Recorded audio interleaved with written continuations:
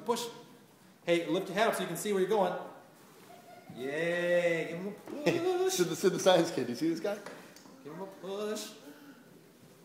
Good job. Mm.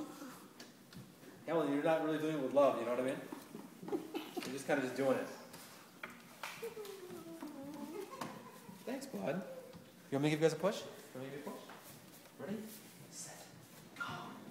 We're gonna go around the racetrack, okay? We're gonna go around the corner. It's like, what's that guy from Cars? These guys watch Cars? Have you ever seen that movie? It's, it's like McQueen, right? You guys have no idea who Cars is. Yay! Good job.